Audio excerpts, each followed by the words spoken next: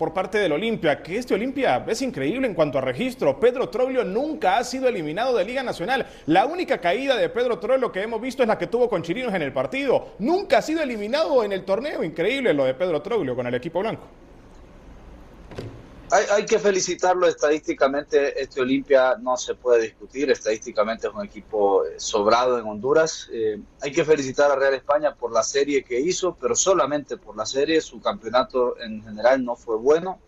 Eh, y bueno, yo sigo pensando lo mismo de siempre. Olimpia sigue siendo el rival a vencer, pero ¿sabes qué te agrego?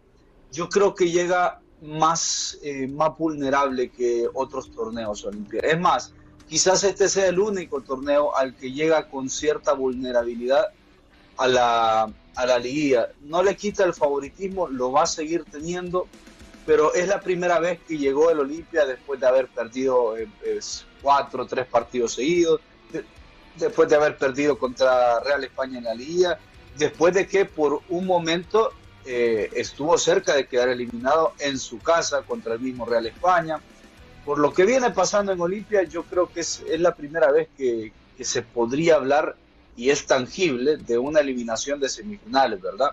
Dependerá de Motagua, pero, pero sí creo que, el favoritismo lo tiene, ¿verdad? Solamente que llega un poquito más flojo que en otras ocasiones. Bueno, yo estoy de acuerdo, eh, pero si la idea de Motagua es asumir el primer partido ante Olimpia eh, eh, en la ida de semifinales, con la idea de un empate y, lo amarramos en la vuelta. Yo te digo, allí en ese momento el Motagua está sentenciando su eliminación, a mi criterio. Si vos querés dejar fuera a Olimpia, anda a jugarle desde el primer partido y trata de ganarle el primer partido, porque la presión yo siento que Olimpia la asimila mucho mejor de lo que la asimilan sus rivales. Además en Motagua hay, muchos fantasmas ahí de lo, que es enfrentar al Olimpia de Pedro Trollio. Entonces, yo te digo, si la idea de Diego es ir a especular en el primer partido, jugársela al empate, ya desde ahí se está sentenciando. A mi criterio. Yo creo que hay una gran posibilidad de que especule, Mauricio. Yo creo que hay una posibilidad de que respete al Olimpia y yo comparto que sería un error. Porque si algo quedó demostrado es que al Olimpia cuando le metes presión en estos últimos partidos, si le metes presión lo complicás porque es un equipo que no está acostumbrado a que lo vayan a buscar.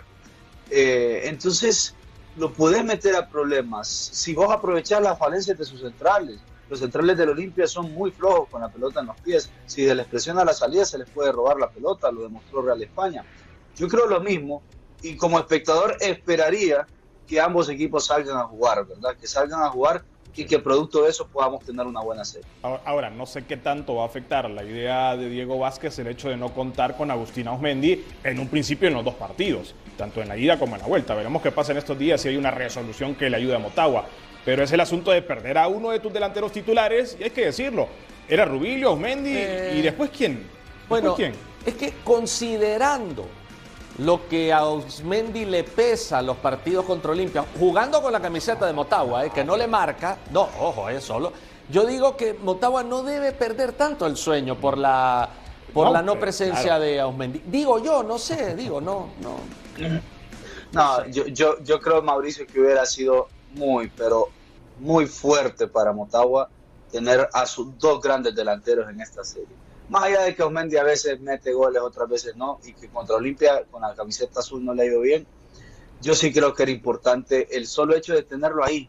Después Diego iba a decidir si jugaban los dos, si uno entraba de cambio, si el otro era titular, pero yo sí creo, primero que el, eh, el castigo fue un tanto desmedido, como para agregarle un poquito más a todo este tema de las teorías conspirativas en el fútbol hondureño.